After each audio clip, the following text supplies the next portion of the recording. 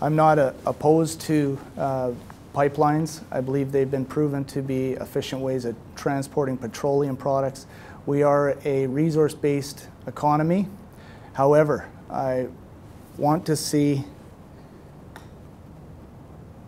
petroleum products. I want to see refineries, excuse me, refineries uh, in conjunction with pipelines in the province. In regards to the Northern Gateway, we do not want to see diluted bitumen, which is a controversial uh, volatile product, uh, shipped off our coast. I believe that can be uh, the ramifications to a, a, spill on our coast are, uh, we just don't want to go there. So a refinery will have uh, product that is, if there was ever a spill, um, and, and we, we do refine the product that we're shipping, it's a lot easier to clean up.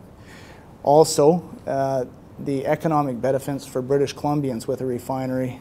You would have 500 long-term jobs with just a pipeline, whereas with a refinery in, a, in the province, you'd have 35 to 5,000 uh, good-paying jobs, and the economic uh, spin-off to that would be it would it'd be a win.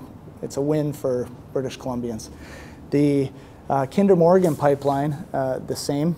I, I believe what I would like to see in this area. If there is the, the, the, twinning of the pipeline goes through, I want to see the old pipeline, 60 year old pipeline, replaced because the longer that's left in the ground, uh, the more chance of rupture that there is there. So I think we need to be, uh, we, we, we need to say to oil companies that we're open for business, however, you're going to play by British Columbian rules.